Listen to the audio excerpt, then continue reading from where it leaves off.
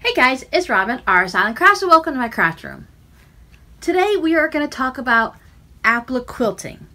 Now applique quilting is when you sew an applique shape down and you actually quilt your project at the same time. I'm still working on the pumpkins. I have this individual, I just cut a 12 and a half inch background and I put my large pumpkin on it. It's all fused down and I'm going to go ahead and take this over to the sewing machine, sewing machine and I'll show you how to applique quilt it.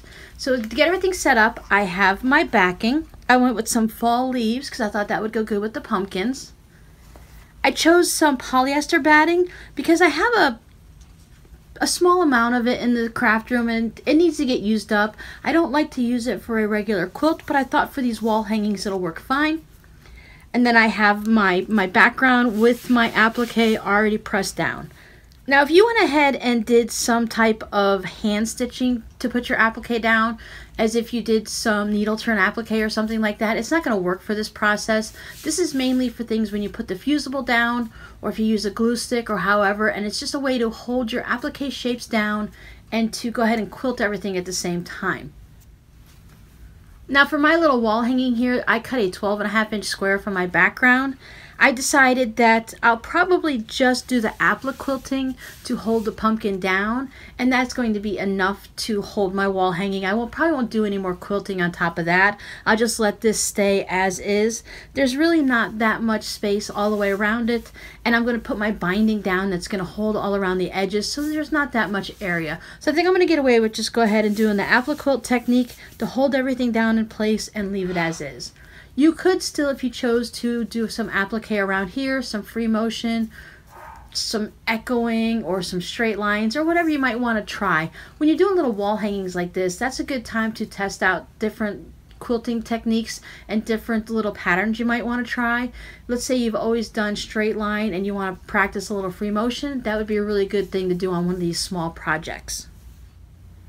I did go ahead and pin, as you can see, to hold my three pieces together. With the polyester batting, the fabric doesn't stick to it. I like to use, if you've been around for a while, you know I'm a really big fan of the Warm and White cotton. I really prefer to use the 100% cotton and that brand specifically. I've been trying different things now that Joann no longer carries it, but I still come back to, I like the way that the Warm and White I like the way it gets crinkly when I quilt it. I like the weight and the feel of it, and I just like to work with it. I've tried other cotton battings and cotton blends, and now I'm going to go ahead and test out this polyester.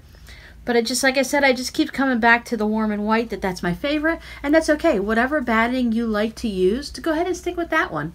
Just because I like warm and White 100% cotton doesn't mean that you can't use polyester and have something of a good product when you're done with it still. So I said I did pin it all together. The warm and White cotton batting, the cotton fabrics will stick to that, so I don't always pin it, but this time I gave it good pinning. I made sure I stayed out of the area that I'm going to be applique quilting, so I don't have to worry about my machine getting hooked up on pins. Enough chitter chatter, let's get to the machine and I'll show you how this goes.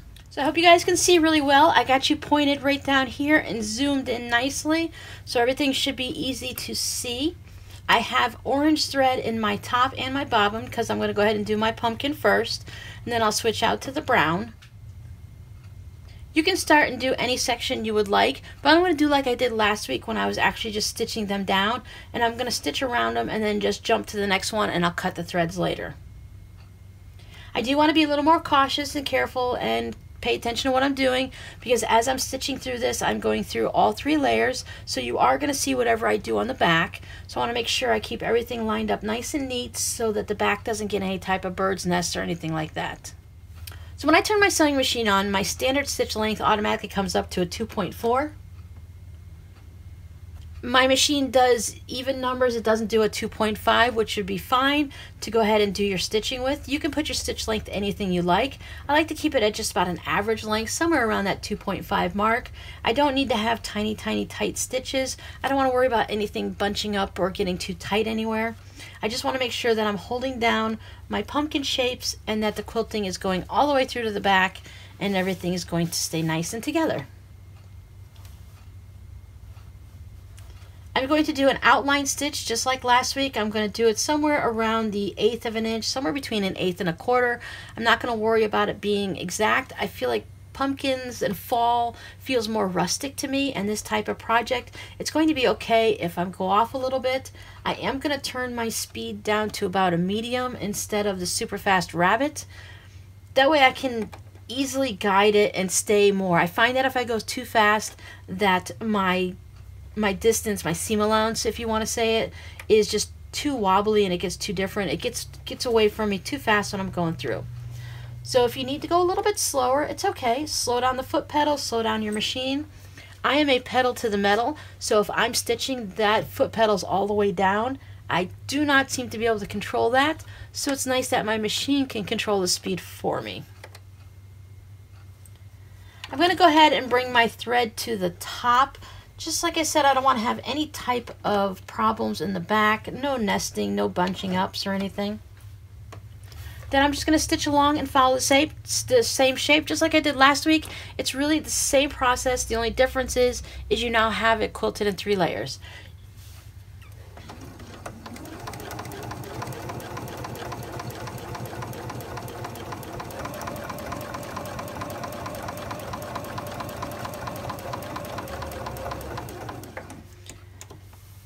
Get lift up my foot and move my project around so I can go around these corners and I have a nice smooth stitch. If you have that little the knee pedal to lift your presser foot up, that works really good for projects like this. I have it. I just I don't use it yet because it's not something I've used in the past and I just need to have more practice with it. I'm just impatient. I don't want to learn anything new. At least not when it comes to the sewing machine like that. Try to get down to the point just to hold that point down. You could always back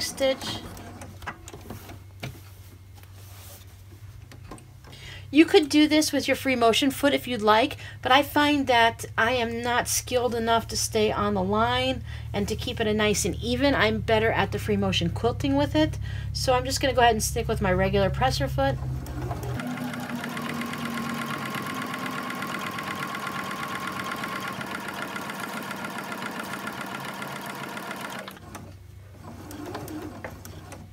If you have, I have a clear just front section on my foot. If you have some type of a foot that's open-toed for applique, applique, ooh, that's a hard one in the morning, or something that you can fully clear or the little C shape so you can see it better, that's really good. A lot of times when I'm getting to lighter parts of the pumpkin, it's kind of hard to see where I am on the edge and I'm just kind of guessing. So far, you know, fingers crossed, I've been pretty good and getting it in the right spot. But if you have more of an open foot, they have an applique foot, I haven't looked to see if my machine came with one or not, but if yours does, it's a lot easier to see what you're doing that way.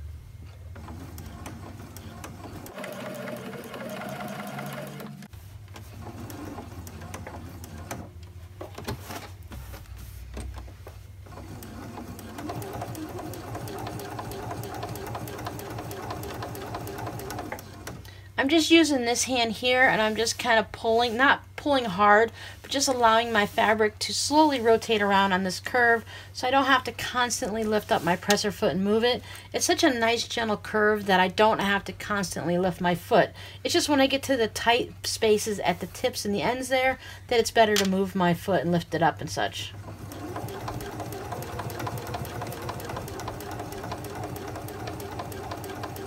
Now when I get to the end, I am going to back stitch just to set the stitch.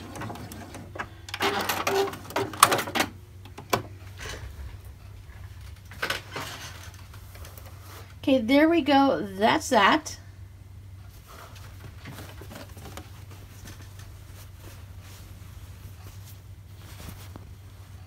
So if you can see, there's my stitch line all along there. It's gone all the way through to the back. I did stick with the orange and the bobbin just because I didn't want to have to worry about any tension issues and having any colors pop up.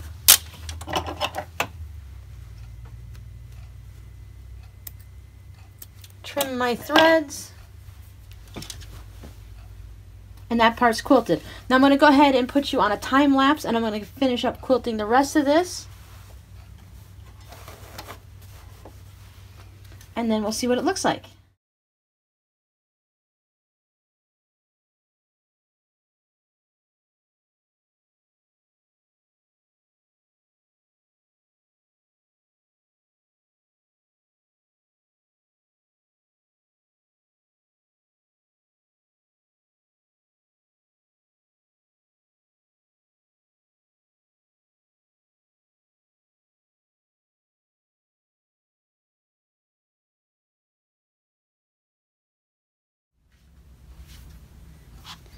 Now I know this was a very simple technique, especially with this project, but it's nice to have all these different knowledge of these different techniques and to try them out to see what's going to work. Sometimes you'll use several techniques all in one project.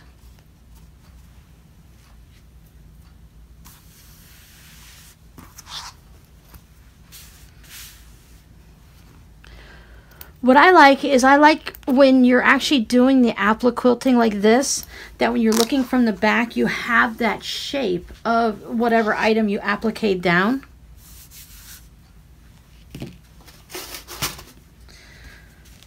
Now, as I'm looking at, like I said, I can just go ahead and leave this as is. And since I have three of these wall hangings, I might go ahead and just do a different technique on all of them. Like leave this one as is, or I might go ahead and do more quilting. I do kind of like how this is flattened out. I might change my mind about leaving it as is. You absolutely you can. I'm mixing my holidays now. I keep my pins. I've switched over to this little container. I saw this on a video somewhere and I had this container. I'm like, gee, I don't know what to put in it. Then I saw someone else use it for something like this and I'm like, duh, yeah, I can put my pins in it. Sidebar, sorry. But I was thinking that maybe I might want to have this a little flatter or I might just want to leave the pumpkin recessed like that. It's completely up to you. It's your project. You can do it any way you'd like. I wanted to show you the technique so you could see how simple it is.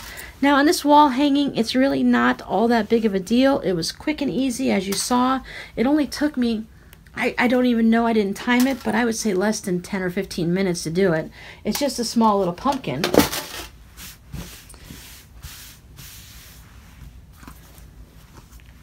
As you can see, everything's so nice. And once I just do that little, put the binding on it, it'll be fine. It'll have a nice little puff along here from that batting. And this will be down.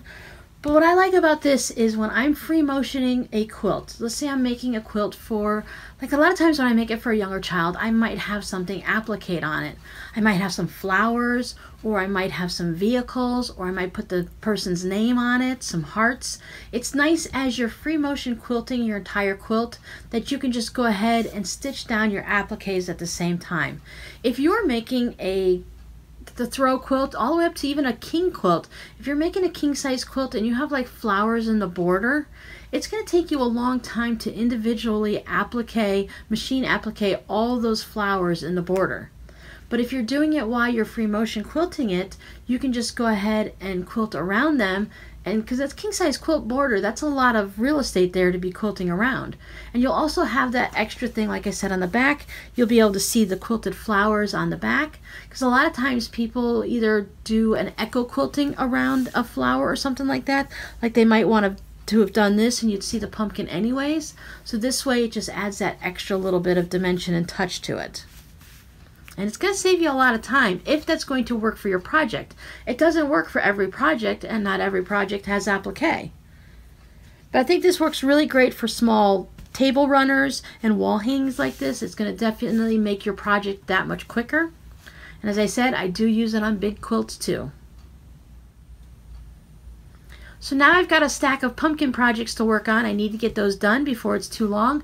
Sometimes I get to this point and I just move on to the next project and then all of a sudden I know the holidays come and gone and I never had any of my decorations up.